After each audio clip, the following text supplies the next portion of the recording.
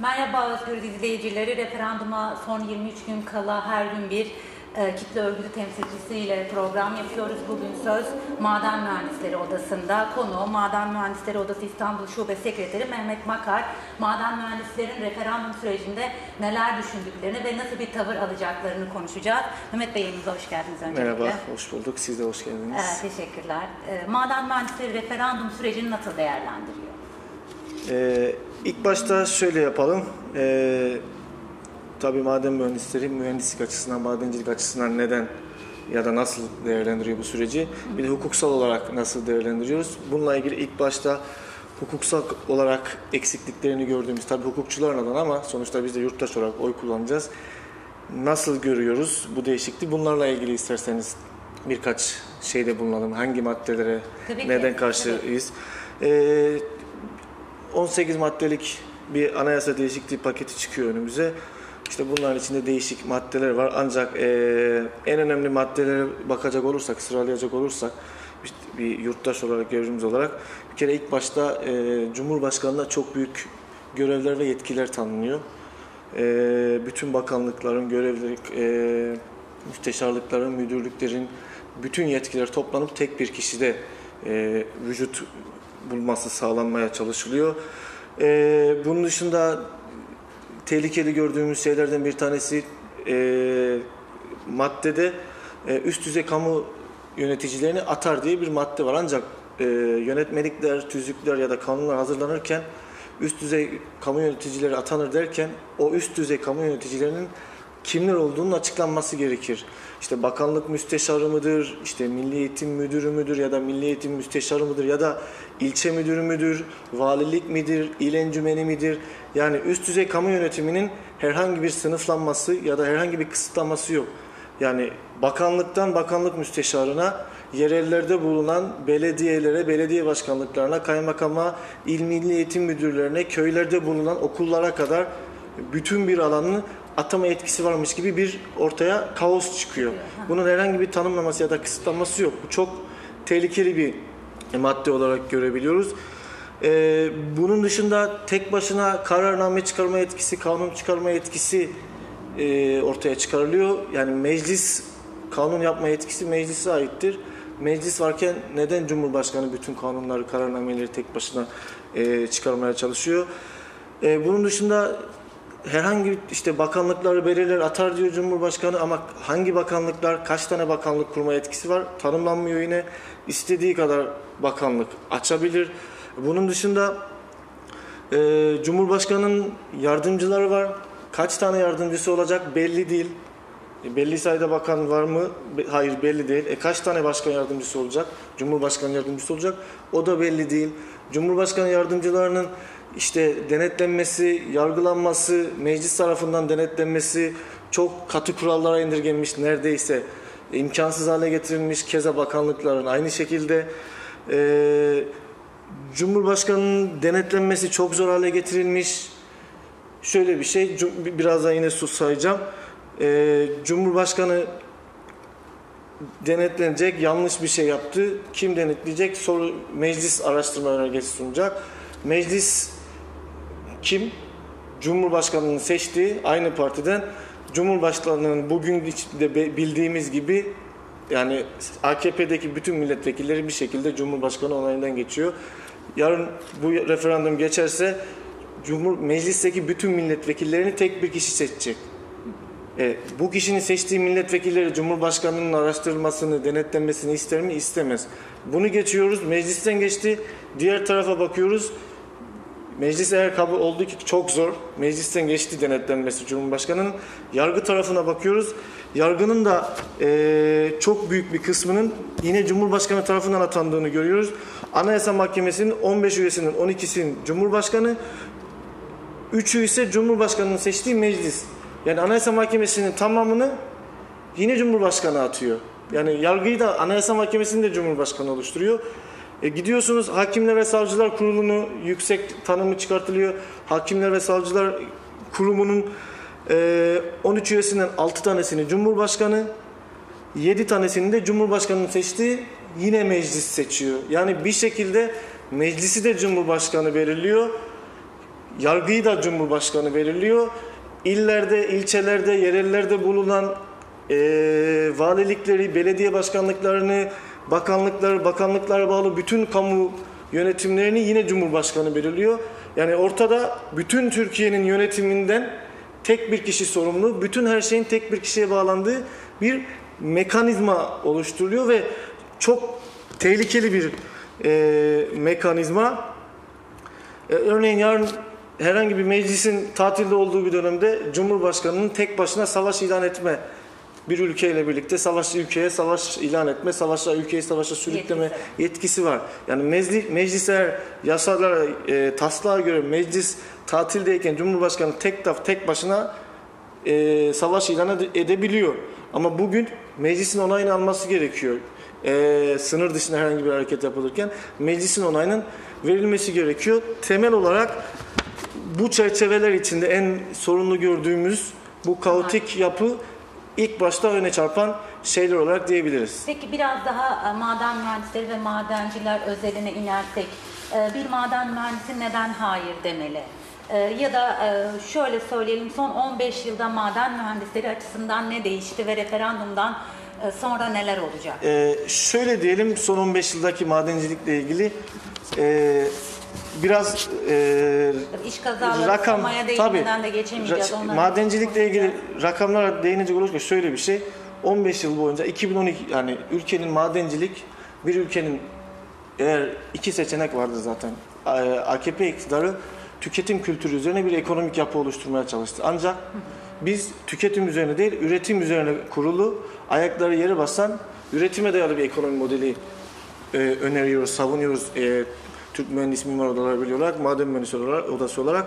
Örneğin gelişmiş ülkelerin e, madencilik üretiminin gayri safi yurt içi hasıla içindeki paylarına bakacak olursak gelişmiş ülkelerde %4 ile %5 arasındadır bu. Gelişmiş teknolojik, ileri teknolojik ürünlerle birlikte bu 10'a 15'e kadar ilerleyebilir. Ancak 2000, 2004 yılında gayri safi yurt içi hasılında içindeki pay madencilik %1 iken, %1.1, 1.2 iken bu e, 2000'ler sonrası özelleştirme ile birlikte bir şekilde 1.5'lere kadar küçük de olsa artmasına rağmen bugün son süreçteki yapılan yanlış ekonomik hamlelerle birlikte, yanlış politikalarla birlikte, özellikle Enerji Bakanlığı'ndaki yanlış politikalarla birlikte tekrar son rakam olarak 2015 yılında 1.3, 2016 yılında ilk 6 ayda 1.1'e kadar neredeyse %1'e kadar geriledi ve çok kötü bir durum. Bunun nedenlerinden bir tanesi de niye durum bu şekilde madencilik çok kötü? Şöyle bir şey, örneğin hep tek adamdan bahsediyoruz ya şimdi. Eğer Cumhurbaşkanlığı sistemi gelirse bütün her şeye tek adam hakim olacak ve bütün her şeyi bir kişi yönlendirecek. Örneğin eee, yanlış hatırlamıyorsam 2012 yılında madencilikte şöyle bir genelge çıkartıldı. Kanuna aykırı bir şekilde. Eee, siz gidiyorsunuz e, paranız var gidiyorsunuz diyorsunuz ki ben bir, bir yerde şu madeni e, üretmek istiyorum diyorsunuz. Eğer boşsa ruhsatı gidip gerekli madencilik izinleridir, orman izinleridir, çevre izinleridir, gerekli harçlardır. Bunların hepsini yerine getirince gidip bu ruhsatı alıp sizin burada da maden çıkarma, üretme yap, üretim yapma hakkınız vardır. Ancak 2012'den 2012'de çıkarılan bir şeyle e, Başbakanlık genelgesiyle birlikte şöyle bir şey yapıldı. Genelgeye göre ee, özellikle 4A grubu dediğimiz özellikle enerji ve metal madenciliği alanında herhangi bir ruhsat alabilmek için bütün hani eşitlik ilkesinden bahsediyoruz ya bütün izinleri yerine getirseniz bile dönemin başbakanına gidip onun iznini almanız gerekiyordu. Eğer o izin vermezse siz maden ruhsatı alamıyordunuz. Ve uzun bir dönem, bir yıl, iki yıllık bir dönem bu şekilde geçti ve birçok insan ruhsat alamadı ve madencilikte çok büyük bir kaos ortaya çıktı. Bunun Yani biraz da şey mi? Hani Tabii yine- alabilmek için biraz yakın mı durmak Tabii gerekiyor? aynen o şekilde zaten bu dönemde Evet, ruhsat evet. alabilen kişiler tamamen bugün kendi elleriyle oluşturdukları yandaş sermaye dediğimiz bu kesim daha çok ruhsat almaya başladı. Diğer kişilere ruhsat vermemeye başladılar. İşte enerji alanında olsun, metal madenciliği alanında olsun sadece kendilerine yakın olan sermayelere, sermaye e, sınıfına, işte sermaye sahiplerine ruhsat izinleri verildi. Diğerlerine ruhsat izinleri verilmedi. Örneğin 2013 yılında bunun nedeni olarak da 2013 yılında ekonomimiz %4.1 büyürken yani ekonomi %4 büyüyor, madencilik tam tersi %4.8 küçülüyor. Ekonomi büyürken madencilik niye küçülüyor? Niye? Çünkü bu şekilde insanların bir şekilde çalışmalarına izin verilmiyor. Burada da şunu görüyoruz. Ee, yani eğer eşitlik ilkesinden yoksun bir şekilde bütün her şeyi tek bir kişinin inisiyatifine bırakırsanız o kişi bir şekilde hata yapabilir. Burada da gördüğümüz gibi sadece istediği kendine yakın olan eee, şirketlere ruhsat veriyor, başkasına vermiyor ki bu Başbakanlık genelgesi daha sonra Danıştay sonra Danıştay tarafından durduruldu. Bu hukuksuzdur dendi. İşte maden kanununda böyle bir şey yok. Herkesin izinleri yerine getirdiği müddetçe kanun önünde eşittir dendi. Ruhsat alabilir dendi. Ancak bu bugün de bir şekilde resmi olarak olmasa bile yazılarda, yasalarda böyle bir şey olmasa bile bugün yine aynı şekilde Enerji Bakanlığı tarafından bu devam ettirilmekte. Aynı şekilde hukuksuzluklar devam ettiriliyor. Bir şekilde bu alanda eee inisiyatifin tek bir kişiye bırakılmasının ne kadar yanlış bir şey olduğunu görmüş oluyoruz. Bunun dışında maden mühendisleri olarak, madenciler olarak eee, hepimizin de bildiği üzere son yıllarda 2000'li yıllardan sonra ortaya çıkan özelleştirme ve taşeronlaştırma ile birlikte e, madencilik alanında da bu çok net bir şekilde ortaya çıktı. Bütün kamu varlıkları bir şekilde özelleştirildi ve e, daha sonra özelleştirme ve taşeronlaştırma ile birlikte e, denetimlerin de yapılmamasıyla birlikte somalar ortaya çıktı, karadonlar e, ortaya çıktı, ermenekler ortaya çıktı. En son gördüğümüz Şirvan'daki gibi Şirvan ortaya çıktı. Peki e, Soma ve benzeri çünkü e, maden mühendisleri dediğimiz zaman madenciler ve iş cinayetleri geliyor aklımıza. Soma ve benzeri e, iş cinayetlerinin yaşanmaması için neler yapılabilir? Ya da sizce şu güne kadar bir şey yapıldı mı? Soma'dan sonra bir yol kat edildi mi? Ya şöyle diyelim, e, bir kere kazaların yaşanmasının temelleri var. Siz kazaların neden yaşandığını ortaya çıkarmazsanız daha sonra ileriye dönük bakamazsınız. Kazalar neden yaşandı? Kazalar özelleştirme sonucu, taşeronlaştırma sonucu, plansız ve programsız bir şekilde e, madencilik yapılması nedeniyle ortaya çıktı. Ne oldu? Madencilik dediğimiz şey özellikle büyük örneğin Soma Havzası'nı söyleyelim. Büyük havzalarda keza Ermenek e, Elbistan'da da bir kaza yaşanmıştı 2010-2011 döneminde. Orada da 9-10 işçi e, toprak altında kalmıştı ve hala şu an toprak altındalar. Madencilik dediğimiz şey plan ve proje işidir. Eğer siz bir projeyi tek bir elden ve planlı bir şekilde yürütmezseniz var olan bir havzayı beşe bölerek 5 kişi burada üretim yapsın, daha çok üretim yapsın derseniz ve siz bu 5 kişiyi denetleyemezseniz, sürekli denetleyemezseniz bu projelerin hepsini tek bir şekilde projeymiş gibi yürütmezseniz kazalar gelecektir. Bir şekilde sizi bulacaktır. Eğer siz 1,5 milyon ton üretim yapacağım diye Enerji Bakanlığı'na taahhütte bulunup 1,5 milyon ton değil de aynı işçiyle aynı havalandırma yollarıyla, aynı projeyle 1,5 milyon üzerine 3 milyon üretmeye kalkarsanız Soma yaşanacaktır. Yani plan ve projeden eee, artık madencilik dediğimiz şey belirli birikimlerin üzerine kurulmuş ve mühendislik mühendislikle birlikte bu deneyimlerin eee, çalışma yaşamına, iş yerlerine, şantiyelere, yer altında ocaklar uygulanmasıyla yürütülür. Ee, şöyle bir şey, eskiden madencilik planlı yapılırdı. Madencilik demek planlama demekti. Madencilik demek proje, proje demekti. Bugün madencilik sadece üretime endekslenmiş. Biz yer altından kömürü çıkaralım ama nasıl çıkarırsak çıkaralım. Yeter. Buna endekslendi. Tamamen buna endekslendi ve denetim de bakanlık tarafından Çalışma ve Sosyal Güvenlik Bakanlığı ve aynı zamanda Enerji Bakanlığı tarafından e, proje denetimleri, e, iş güvenliği denetimleri yapılmadığı için bu kazalar bir şekilde ortaya çıkıyor. Yani şöyle bir şey, yani 2010, 2012 yılında e, bir yasa çıkartıldı. İş sağlığı ve güvenliği yasası çıkartıldı. Dendi ki iş kazaları azalacak, iş kazaları artık yaşanmayacak. İş yerlerine iş güvenliği uzmanları gidecek, iş yeri hekimleri gidecek, iş kazaları azalmayacak dedi. Ancak e, şöyle 2012'den sonra yaşanan kazalara hızlıca bakacak olursak 2013'te e, 2013'te 1235 işçi yaşamını yitirmiş. 2014'te 1886, 1886 Soma'nın yaşandığı yıldır. 2015'te 1730, Soma'dan bir yıl sonra yani 300 301 kişi Soma'da yaşamını yitirmişti ama 2015 yılında yine 1730. 1730. Eğer Soma yaşanmasaydı niye 1500 hani atıyorum da niye 1500'e yine niye 1730? Yani bunun hepsini geçtim. En en son 2016 yılında 1970 işçi yaşamını yitirdi. E bu sene Soma yaşandı mı? Siz bu sene Soma gibi bir büyük bir kaza duydunuz mu?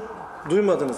Ama Soma'yı da aşan 400 kişilik bir Soma yaşanması gerekiyor. E ne oldu bu iş sağlığı ve güvenliği Aslında Soma görünür olandı ama diğerleri çok daha az kişiler. Aynen o şekilde. için bizim çok Bizim için- ve gündeme gelmiyor demek. Yani bizim bizim için e, daha doğrusu Türkiye kamuoyu için şöyle bir şey oluştu. 300 kişi ölmesi lazım ki iş cinayetlerinin, iş kazalarının konuşulması gerekiyor. Şöyle bir karşılaştırma vereyim size. Nereye kadar geldik? E, çok unutkan bir toplumuz ya. Örneğin Soma Toplumsal hafıza. Soma kat aynen Soma katliamının yaşandığı dönemde e, bütün merkez medya, televizyon kanalları olmak üzere e, bütün büyük medya şeylerini sayabilirsiniz. En ufağından, en muhalifinden, en yandaşına kadar e, Soma'nın yaşandığı ilk hafta 10 gün boyunca televizyonlara Soma'yı anlatmak için gönderecek maden mühendisi bulamıyorduk. Çok talep vardı, aşırı talep vardı. En az 30-40 arkadaşımız günde iki tane televizyona gidiyordu, gazeteye gidiyordu, röportaj veriyordu. Soma'nın neden yaşandığını anlatmaya çalışıyordu insanlara. E, mühendislik açısından, mesleki teknik bilgi açısından insanlar daha iyi anlasın diye. Ancak daha sonra e, 5-6 ay sonra Ermenek yaşandı. Medyanın buna olan ilgisi yarı yarıya azaldı medya daha az çağrılı oldu. Birkaç medya, merkez medya bir gün çağırdı, iki gün çağırdı, daha çağırmadı. En sonda geçtiğimiz aylarda Şirvan'da bir kaza yaşandı. E, açık işletmede göçük yaşanmıştı.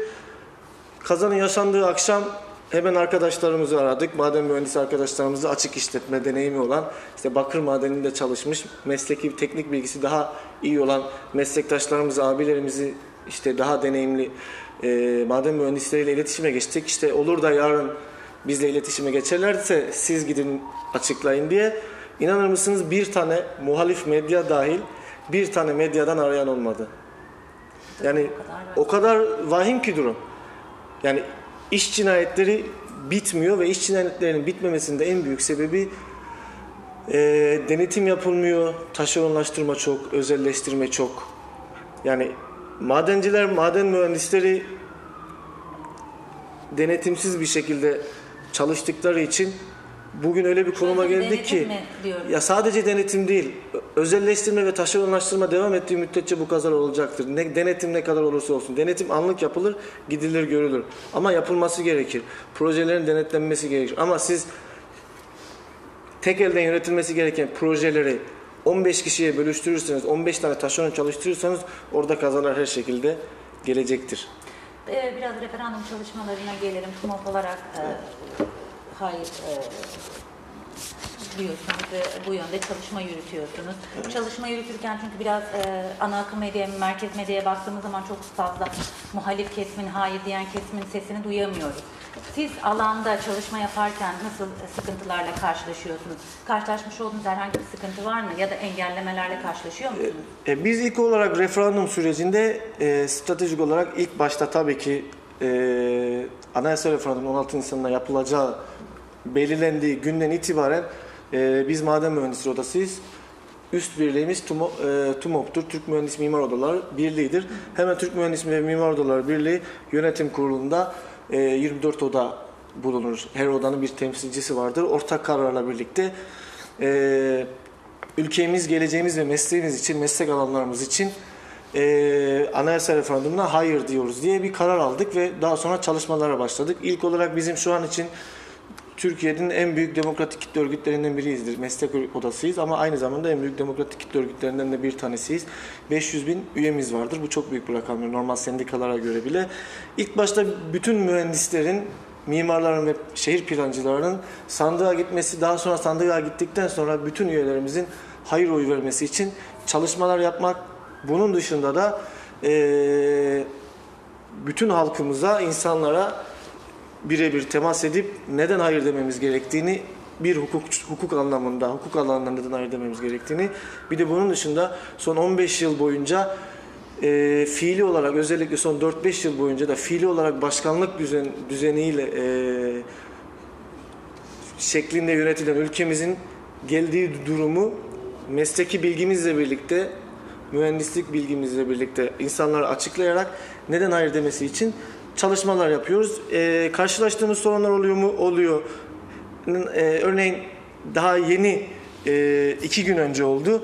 Örneğin bugün bütün kamu kurumların valilerden kaymakamlara, okullardaki e, öğretmenlerden e, üniversitelerdeki rektörlere kadar bağımsız olması gereken bütün kamu kurumlarındaki yöneticiler e, evet için çalışma yaparken buna herhangi bir şey kimse söyle yani olmaması gerekir. Bu şekilde davranırken bugün mesleki bir oda a- aynı zamanda demokratik kitle örgütü olan mesleğine, meslektaşlarına ve halkına karşı sorumluluğu olan, bu sorumluluğu hisseden bir yapı olarak TUMOP hayır çalışmaları yürütüyor diyor. Örneğin Ankara'da e, AKP'lilerin organize, organize edilmesiyle birlikte TUMOP önüne sözde protestoya gidiyorlar. Meslek odası tarafsız. Aynen öyle.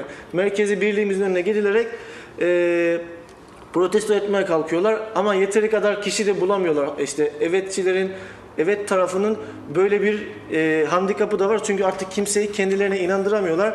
Ankara'da kamu araçlarıyla TİAŞ'ın elektrik iradesinin, elektrik üretim ve dağıtımının e, kamu araçlarıyla birlikte toplama insanlar birliğimizin önüne getirilerek protesto edilmeye Yani çalışılıyor. TUMOP önüne şu araçlarla, resmi Aynen o şekilde. birlikte gelip protesto, protesto etmeye yapıldı. protesto Hayır dediğiniz aynen o şekilde biz hayır diyoruz diye protesto edilmeye etmeye çalıştılar. Ancak yeteri kadar kitle toplayamadılar. Çünkü artık kimseyi kendilerini kimseye inandıramıyorlar. Artık in- insanları toplayarak getiremiyorlar ve toplayıp getirdikleri 30 kişiden de 10 tanesi ya mühendistir ya da değildir.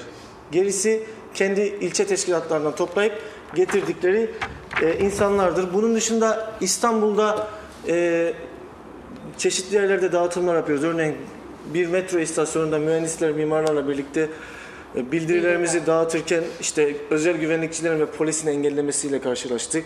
İşte metronun çıkışında dağıtıyoruz. İşte metronun bu alanda dağıtamazsınız. Kamu alanıdır. Ama gidiyorsunuz bu şekilde engellemeyle karşılaştık. İşte ancak şöyle güzel bir tarafı oldu bizim için. E, Bizi engellemeye kalktılar. Hayır çalışması yapmamızı engellemeye kalktılar. Ancak oradan geçen insanların büyük bir çoğunluğu bize destek oldu. Bizi orada yalnız bırakmadılar. 10-15 kişiydik orada. Bir baktık 10-15 kişi olmuşuz 100 kişi. Artık Yani e, yaptığınız çalışmalarda halkın desteği büyük. aynen o şekilde biz meşru bir iş yapıyoruz ve bizim için önemli olan halkın bize gösterdiği, bize bu sağladığı me- meşrutiyet, meşruiyettir. Yani bunun dışında istedikleri kadar konuşabilir ama biz 16 Nisan'a kadar hayır çalışmalarımızı yürüteceğiz. İstanbul'da da e, bunun dışında çeşitli noktalarda e, Beylikdüzü bölgesinde, Mecidiyeköy, Şişli, beyaz yakalıların yoğunlukla çalıştığı e, Maslak bölgesinde, Kozyatağı bölgesinde, Kartal bölgesinde, sanayi sitelerinde, İkitelli'de, bizim meslektaşlarımızın çalıştığı alanlarda, e, teknokentlerde, teknokentlerde yüzlerce binlerce mühendis arkadaşımız çalışıyor. Teknokentlere giderek bilişim işçileriyle birlikte mühendislere, mimarlara ve e, insanlara, yurttaşlara, halkımıza neden hayır denmesi gerektiğini anlatmaya çalışıyoruz. Peki son olarak neler söylemek istersiniz izleyicilerimize? Ee, son olarak e, 15 yıl boyunca e, ülkemizin geldiği nokta ortada. Yani e, bırakalım mesleğimizin itibarını artık ülkemizin insanların bile en ufak bir itibarı kalmadı. Örneğin şöyle diyoruz biz arkadaşlarımıza e, ülkemizin de bir şekilde içinde bulunduğu şeyle birlikte, emperyalistlerle birlikte bugün Suriye'de bir savaş yaratıldı ve bugün Suriye'den kaçan insanlar bugün aramızda beraber birlikte çalışıyoruz o insanlarla ve o insanlar düşmanımız değil bir şekilde beraber yaşamamız gerekiyor o insanlarla.